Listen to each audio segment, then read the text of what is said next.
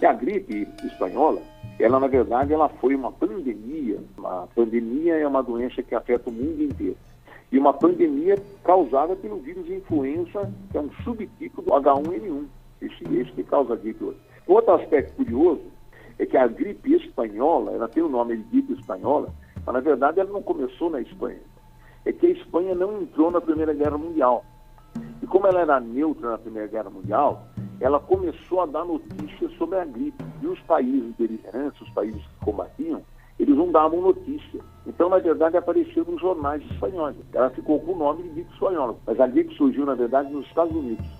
E dos Estados Unidos que ela foi levada para a Europa. O que acontece é claro que as pessoas estavam tremendamente assustadas, né?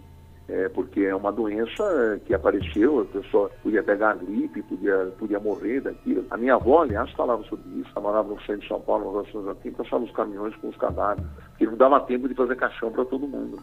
Então é claro que a população ficou extremamente assustada. Daí surgiram todas essas ideias, olha, isso aqui é bom, acho que é bom eu vou usar. Né? A quina é uma erva que foi levada da América, foi levada do Peru pelos jesuítas para a Europa.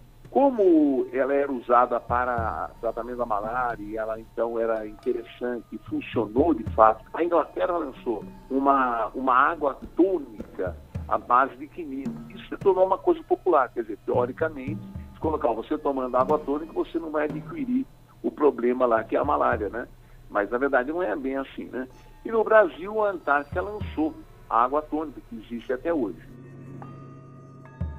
A gripe não tem tratamento até hoje, né? A gripe, você trata os sintomas, mas a gripe em si, o vírus, nós não temos tratamento para o vírus da gripe especificamente.